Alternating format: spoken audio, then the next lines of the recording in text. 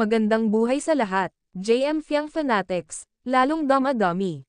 Ang lakas ng chemistry, ng Gen 11, sa PBB.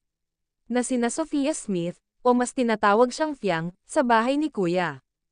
At si JM Ibarra.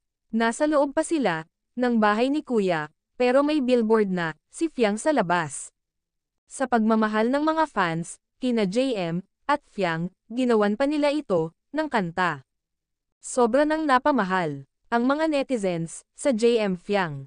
Marami na ang kinilig, at nagpupuyat, sa PBB, dahil sa kanila.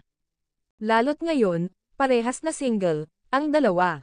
Nagsimula ang closeness, ng dalawa, sa BNK, bilang mag-best friend. Pero nakitaan ng mga fans, na sobra ang lakas, ng chemistry, ni na JM at Fiang, sa manunood.